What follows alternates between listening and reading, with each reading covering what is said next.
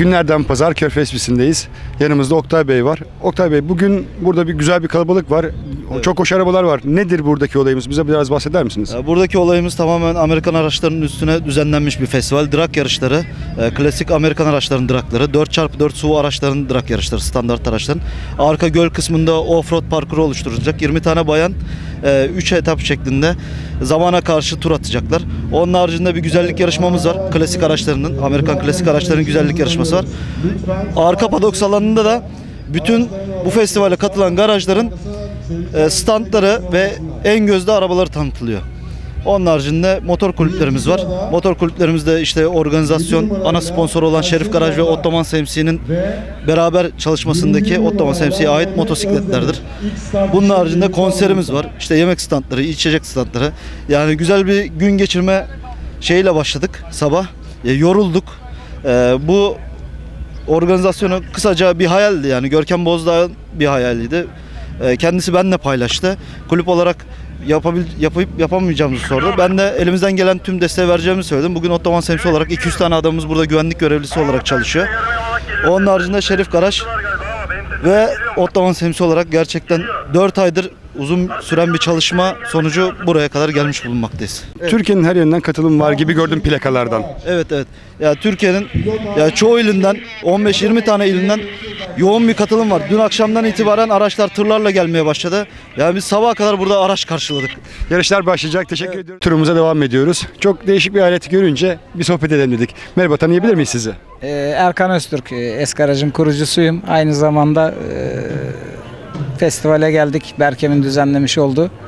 Şu an buradayız. Çok eğlenceli. Üzerinde oturduğunuz araç bu kendi imalatınız mı? Evet 15 sene önce e, bunu atölyemde kendim yaptım. E, ilk atölyede e, imalat ettiğim e, projelerimden bir tanesiydi. Ondan sonra bana feyiz verdi. Bundan sonra da e, bu tarz e, değişik projelerle yola çıkarak bunun gibi bir sürü e, araç imal ettim. Bu araçlara ne diyoruz şu araçların? Bir özel ismi var mı? Tabii ki bunlara e, trike deniyor. E, Avrupa'da çok yaygın. E, ülkemizde de yavaş yavaş yaygınlaşmaya başladı. E, dolayısıyla e, o dönemlerde proje haline getirdik ama e, bir takım e, önümüzdeki olan engellerden dolayı hayata geçiremedik. Ama benim için hayatımda çok değerli bir yeri var. Meraklılar için soruyorum. Kaç beygirdir?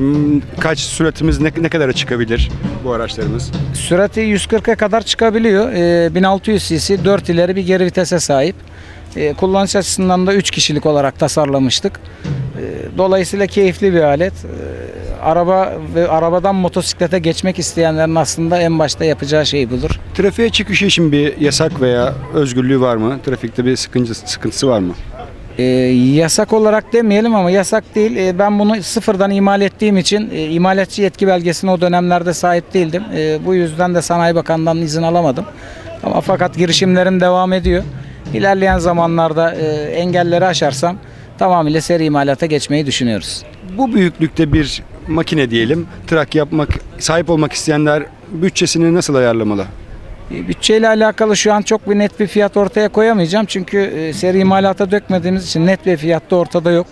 Ama e, piyasada benim bildiğim kadarıyla bu tarz e, trike'lar 40-50 bin lira civarında satılıyor. Siz de tanımak istiyoruz. Ben Sevda Öztürk.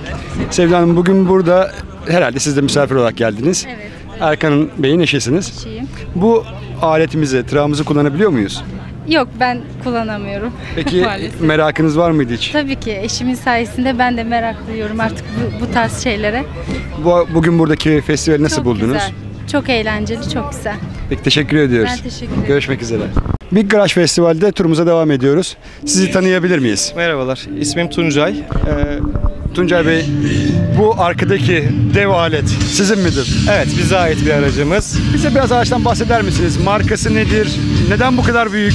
Tabii aracımız eee, 2011 model 400 beygirlik Ford marka bir araçtır. Duty Free diye geçmektedir. Eee, aracımızın eee, büyüklüğünden şey sebebiyetle çok fazla ilgi ve eee görselliğiyle alakalı dikkat çekmektedir. Eee, yani günümüzün şartlarında Türkiye'de bu tarz araçlar çok fazla olmadığı için trafikte çok rahat seyredemeyebiliyorsunuz. Bu tarzda dezavantajları da vardır. Onu soracaktım. Trafikte size avantaj veya dezavantajları nelerdir? Avantajları İstanbul trafiğinde çok yüksek. Ee, gören herkes kaçmaya çalışıyor ee, size gördüğünüz gibi. E, diğer yaklaşmıyorlar en azından. Aynen o şekilde. Diğer dezavantajlarından bahsedecek olursak da e, ilgiden dolayı yolda e, devam edememektesiniz.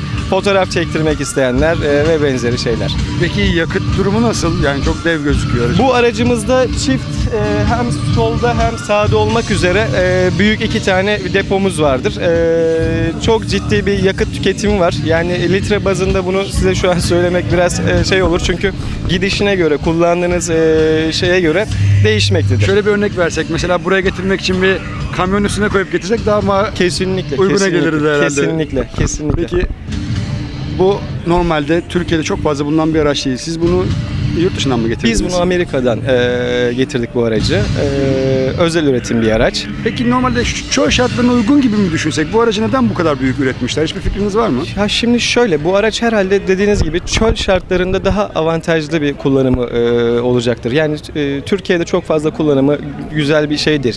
Biz e, aslında bu aracımızı istasyonumuz istasyonlarımız oluyor bizim. Onların açılışlarında e, görsellik Görsel amaçlı. amaçlı, e, insanların dikkatini çekebilmek amaçlı getirdiğimiz bir araç. Son olarak bugünkü ortamı nasıl buldunuz? Daha çok klasik araçlarımız daha fazla. Bu merakınız var mı? Klasik evet, araç evet. Klasik araçlarımıza daha fazla büyük merakımız var. Fakat eee, biraz daha motor tutkunluğu ön planda bizde. Eee, diğer motorlarımızda görmüşsünüzdür Gördüm. muhtemelen. Eee, güzel bir eee, yarışlar olacak. İnşallah herkese eee, hayırlı pazarlar diliyorum.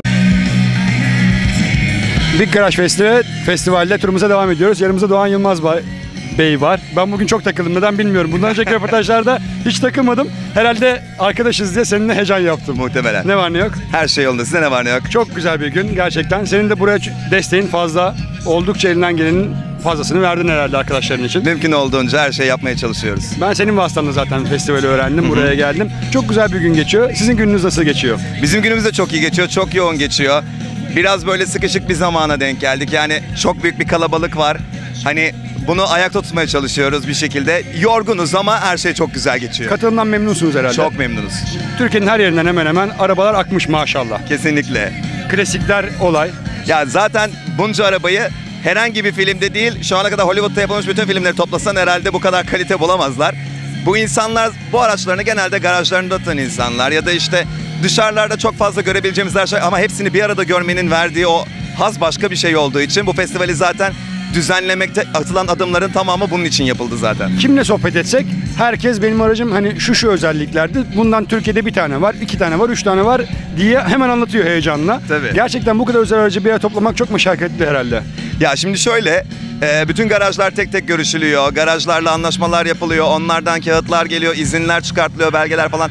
Aslında çok uzun bir süreçten geçiyor bu festival işleri. Çünkü büyük izinler, büyük işte organizasyon için yapılması gereken her şeyi yapmak zorundayız ve bu araçların güvenliğini, temizliğini yani herhangi bir şekilde başlarına bir şey gelmemesi için olabilecek her türlü önlemi almak zorunda olduğumuz için bizim için birazcık daha böyle hani insanın içinde bir olur ya böyle hani ya olan ya başımıza bir şey gelirse falan zihniyeti. Biraz o da var ama onun haricinde herkes anlatmaya başlıyor çünkü hakikaten çoğu araçtan dünyada bir tane var. Kendileri garajlarında modifiye ediyorlar.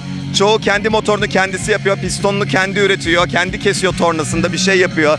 Kaportaları kendileri genişletiyorlar ediyorlar. Yani bu başka bir tutku, başka bir aşk. Yani motosporlarıyla ilgilenen herkes için zaten. O yüzden ellerinden geleni yapan insanlara biz de elimizden geleni yapmaya çalıştık. Bu ilk için gayet güzel bir organizasyon olmuş. Bunun büyük ihtimalle devamı gelecek. Öyle mi? İnşallah devamı gelecek. Zaten planları yapılıyor ama bakalım zaman ne gösterecek. Peki konserimiz olacak mı? Konserimiz olacak muhakkak. Sahnemiz hazır. Sahnemiz hazır. Bomba Her gibiyiz. şeyimiz de bomba gibiyiz. Peki Sakarya olarak sizle gurur duyuyoruz zaten. Kolay gelsin. Çok teşekkürler. Teşekkür çok sağ olun. Biz de. Sakarya olarak sizle gurur duyuyoruz. Görüşmek Teşekkürler. üzere. Festivalimize, turumuza devam ediyoruz. Burada bir konuğumuzu rastladık. Merhaba, sizi tanıyabilir miyiz? E, ismim Ayça Özkara. Bizim burada Riders Brothers grubumuz var. Onu temsilen geldim. Klasik arabalara meraklıyız sanırım. Evet meraklıyız. 4 yıldır bu işte uğraşıyoruz. Riders Brothers. Evet. Tam olarak ne yapıyorsunuz? Ne yapıyoruz? E, biz Ankara'dan geldik. E, bizim de bir klasik araba grubumuz var. Genellikle custom ve rad tarzı. Hani farklılık katıyoruz. Burada da bulunmuş olduk. Peki nasıl buldunuz bugünkü fuarımızı, festivalimizi? Gayet başarılı, gayetten çok güzel arabalar var. İnanılmaz güzel, muhteşem. Yani bu işe ilgi duyanlar için herhalde hit. Bütün arabalar burada diyebiliriz Türkiye'deki Evet, klasikler. Kesinlikle yani gerçekten diyecek fazla bir şey yok. Peki içinde bulunduğunuz aracı biliyor musunuz? Eee, hayır. Ama oldukça güzel. Ben de çok dikkatimi çekti. evet. Çok teşekkür ediyoruz size. Rica ederim ben teşekkür ederim. Evet fuarımıza, turumuza devam ediyoruz. Yanımızda çok en ilgi çeken araçlardan birisi var. Siz tanıyabilir miyiz? Ben Kenan Canko. Kenan Bey çok değişik bir tasarım yanımızdaki araç herhalde. Evet. Nereden aklınıza geldi böyle bir tasarım? Ee, bunu yani bir yerden diye söyleyemem. Yani kendimiz oturduk düşündük. Zaten abilerimle ortak yaptık. Ee, bu şekilde. Tarz araba mı yapıyorsunuz genelde? Neyle ilgileniyorsunuz? yani e, farklı tarzlarda araçlarımız var. İşte bir tane klasiğimiz var. Ve bu şekilde var. Klasiğiniz nedir? O da yine Ford Taunus Fastback. bu sefer. Faceback. Peki bu aracımızın özelliği nedir? Altındaki yani modifiyesi halinde normalde Ford diyebilir miyiz? Bu da Ford Taunus Ford. Baltaburun. Evet. Peki e, bu tarz e, trafiğe çıkışta bir sakıntısı var mı üstündeki? Yani şimdiye kadar bir sıkıntı olmadı. Geziyorsunuz. Evet geziyoruz. Günlük Buradaki bugünkü festivali nasıl buldunuz? Festival çok güzel. Gerçekten Nereden katılıyorsunuz? Ankara'dan katılıyorum. Ankara'dan. Evet. Türkiye'nin her yerinden katılım olmuş herhalde. Evet her yerinden katılım var. Gerçekten büyük bir katılım var. E, Klasik araçları beğendiniz mi? Nasıl buldunuz? E, Klasik araçları zaten çok seviyoruz hepimiz. Yani buradaki araçlar da çok güzel.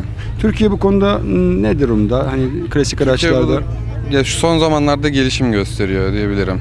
Yani son zamanlarda çok büyük bir ilgi var. bu işin meraklısı oldukça fazla Türkiye'de herhalde. Evet yani dediğim gibi artmaya başladı. En azından öyle söyleyebilirim. Peki teşekkür ediyoruz size. Rica ederim.